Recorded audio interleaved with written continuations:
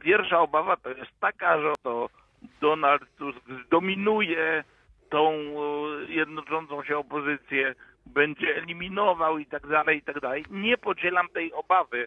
Ja zawdzięczam swoją pierwszą kadencję senacką e, Donaldowi Tuskowi. Donald Tusk podał mi rękę, e, kiedy byłem w PJN razem z Janną Kluzik-Rostkowską.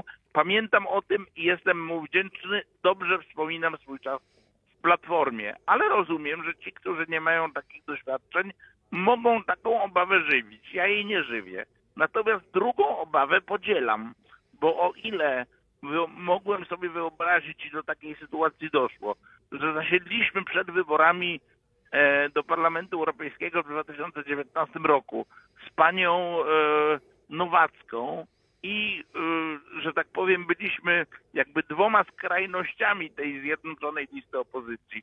I mogliśmy szczerze mówić oboje, że e, pani Barbara Nowacka ma swoje poglądy, ja mam poglądy wręcz przeciwne, ale idziemy do wyborów do Parlamentu Europejskiego, ponieważ akurat tak się składa, że nie w Parlamencie Europejskim będą decydowane rozwiązania prawne dotyczące tych dziedzin, które nas różnią.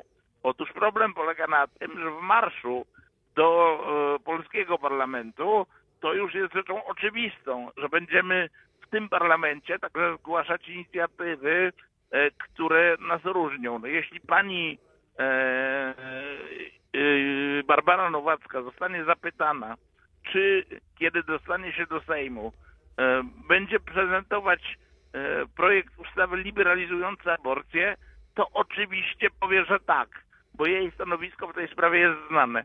Ja oczywiście powiem, że nie, bo moje też jest stanowisko No znane tak, w tej czyli- sprawie i damy wtedy Prawu i Sprawiedliwości okazję do rozgrywania tych różnic.